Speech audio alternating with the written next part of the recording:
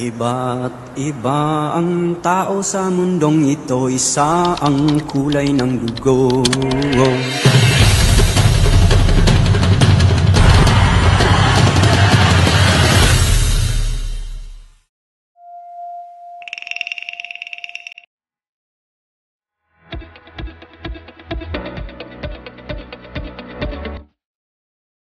Good day, grade 12 students.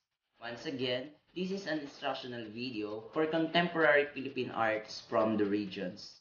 We are still on the week number 1, and we are now going to our lesson number 2. But before we start with our lesson, let us have first a prayer.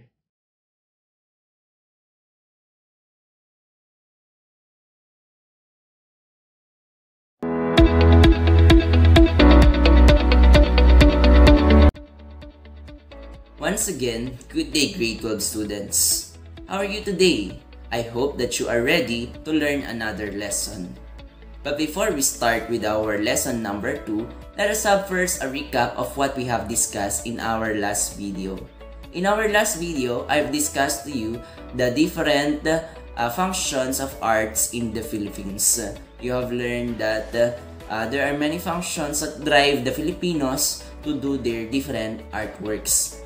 And also, you have learned that introduction about contemporary arts that is different from the modern art and is also called as postmodern art. It is the, the arts that are produced today which started dating back from 20th century and still performed during our time which is the 21st century. I hope you learned well with the discussion video and now we're going to our last lesson for this week. For lesson number 2, our topic is all about various contemporary art forms in the Philippines. I've introduced to you uh, the functions of the arts and uh, we have mentioned uh, different art forms uh, on that discussion.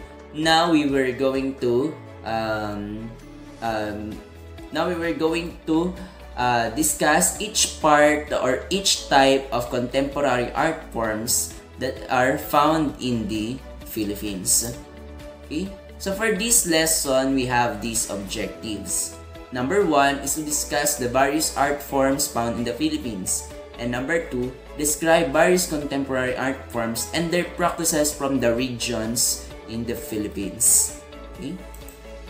Let's start with um, looking at the different art forms found in the Philippines. So there are different uh, art forms that are performed or that are done here in the Philippines. We have uh, painting, we have sculpting, music, dancing, architecture. Okay, so those were the different forms of contemporary arts in the Philippines. Kasi baka iniisip nyo pag sinabing contemporary arts yan eh, painting, okay? Hindi, ang contemporary arts lahat-lahat na ng various forms of self-expression, painting, sculpting, architecture, music, and dance, lahat yan ay different forms of arts. So, unahin natin i-discuss ang painting sa Pilipinas. Okay? Painting, in the early 19th century, wealthier, wealthier educated Filipino introduce more secular Filipino art, causing art in the Philippines to uh, deviate from religious motifs. So dati kasi ang modern art, ang classical art sa Pilipinas, uh, mostly religious lang yung uh, themes nito, wala nang iba. Okay? Pero dahil sa contemporary arts, naging iba't iba na yung themes ng ating uh, painting. So, una na nga dyan, uh, the uh, we have uh, the use of uh, the watercolor paintings. Ano-ano na yung mga naging themes niya. We have uh, landscapes, Filipino inhabitants, Philippine fashion, and government official. Okay, so yung mga watercolor paintings noon, yan yung mga naging laman or naging theme. Philippine fashion, government official, pinipaint nila, and yung mga inhabitants natin, yung iba't ibang mga tribo. Okay? And then, for portrait paintings, ang naging tema ng portrait paintings natin ay drawing or pinaint ng mga artists yung kanilang sarili. Okay? They have the portrait of themselves. Filipino jewelry and native furniture. So, yan yung mga naging uh, tema ng mga portrait paintings. Okay, again, we have the artists themselves and pinakita yung mga furnitures ng Pilipinas and the jewelries. Okay. Next one, yung mga landscape paintings naman. It features artists uh, names painted. So, yung mga names nila. Day-to-day scenes, yung mga pang-araw-araw na, buha, uh, na pamumuhay ng ating mga Filipinos, uh, citizen, and the daily tasks na ginagawa nila. So, lahat na yan ay naging tema ng landscape painting. And then, during the World War II naman, ang naging tema, syempre, ng mga painters noon ay yung uh, battle scenario. Okay? The Filipinos that are uh, being uh, part of the war, the destruction of the properties, the aftermath of the war. Okay, so, yan yung uh, naging tema ng Philippine Contemporary Arts. So, we have again, for portrait paintings, yung the artists themselves, and then the jewelries and the furnitures, For landscape paintings, we have the day-to-day scenes and daily tasks of the Filipinos. Watercolor paintings, yung mga government officials, Philippine inhabitants, Philippine fashion. And during the World War II, of course, the theme is all about the battleship or the war. Okay? So, ito yung mga examples ng uh, paintings for the contemporary arts. So, ayan. O, di ba? Uh, parang lang siyang picture, pero yan ay actually portrait painting yan. Okay, so mga ganyan yung example ng ating uh, Philippine paintings for contemporary arts. Yung kanyang mga themes. Okay. Ayan nga, pinapakita yung uh, day-to-day scenes ng Filipinos. Ano ba yan? They are washing their clothes in the side of the river. Okay, planting rice Okay, so yan yung mga uh, different canvas or paintings na ipinakita during the uh, 20th and 21st century. Okay? Fiesta, pag-aalaga ng uh, panabong. So, yan yung iba't ibang uh, samples ng Philippine paintings for contemporary arts yung team niya. Next one, we go with the sculpture. So, ano naman kaya ang naging tema ng sculpture sa ating bansa? Sculpture is the branch of the visual arts that operates in three dimensions. Alam naman natin yan, 3D. And one of the plastic arts kasama rin dito. Durable sculptural process originally used carving, the removal of material, and modeling. Okay, so, in stone, metal, ceramics, wood, and other materials. Pero dahil sa contemporary arts, nag-iba yung sculptural processes. Hindi na lang basta molding and uh, modeling or carving, I should say. So a, a wide variety of materials may be worked by removal such as carving, assembled by welding or modeling, or cast. Okay? Hindi na lang basta nagmumolde or nagka-carve sa atin yung sculpture. Ngayon, pwede nang gamitan ng welding. Okay? And then carving, kahit uh, wide variety of materials. Diba may mga nakikita tayo na ginagamitan na ng goma, pwede na siyang sculpture. So, marami nang pwedeng gamitin, hindi na lang basta kahoy, clay, stone, ceramics, yung pwede nating sculpt, ba? So, ayan yung mga example, pregnant woman yan, di ba? So, ayan, mga types of sculptures. Okay, so amazing, di ba? So, tayo, meron din tayong panlaban sa ibang bansa. Ah. So, these are the different types of sculptures or the work of sculptors na nabuo dito sa Philippine Contemporary Arts. Okay, we have also the UP Oblation, the Monument of Bonifacio in Caloocan City. So ito, na-built in 1933. Yung UB Oblation naman is 1935. Ah. Okay. Now we go with music.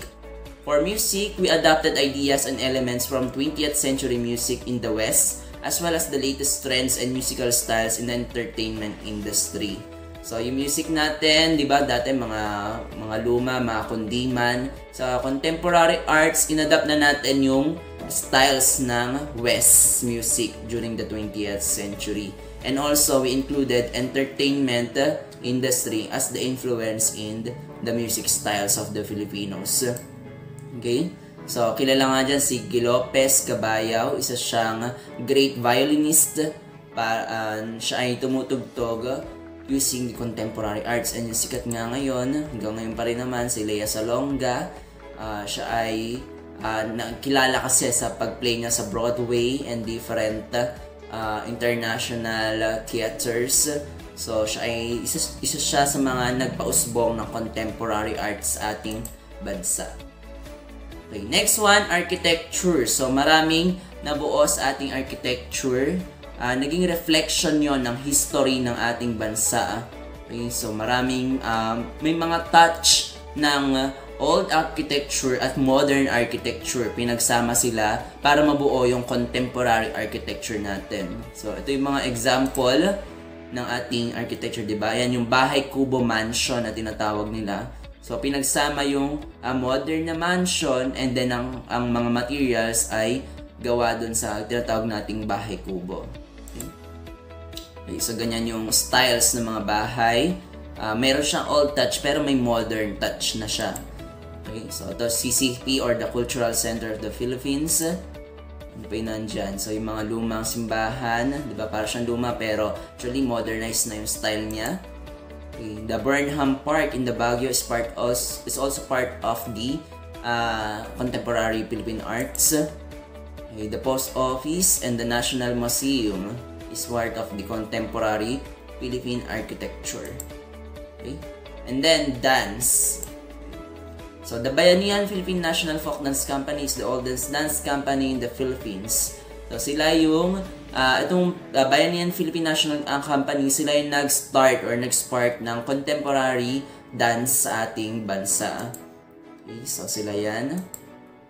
So these are those are the different various art forms that are found in the Philippines: the architecture, dance, music, sculpture, and painting.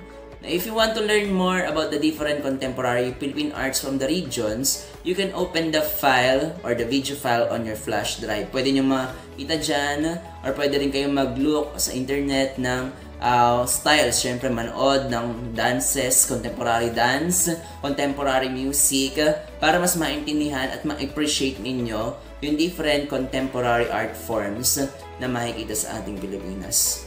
Now, it's time for you to take the assessment. Answer activity 4 on the assessment sheet. It will be fun because you will do a simple painting, a landscape painting. I know you have uh, skills or potential in paintings and show it up on your activity. Okay? So let us have a values integration before we end this lesson. Art is a way of expression, a way of joy, a way of making people understand things which can be done verbally. In fact, we can say that everything that is beautiful is art. Art provides mankind with a diverse range of necessities and comforts. The use of art in various political and social issues to organize campaigns and create awareness is indispensable. Okay, so talaga naman napakaraming functions and purpose kung bakit tayo kailangan gumawa ng art or mag-express na ating sarili to art forms. Okay, so remember all of this. Okay, That's it for our lesson discussion for this video and I am leaving you with this Bible verse. But now, O Lord, you are our Father. We are the clay and you are our potter. We are all of the work of your hand. Coming from Isaiah 64, 8. Okay? Thank you for listening, grade 12 students. God bless and happy learning.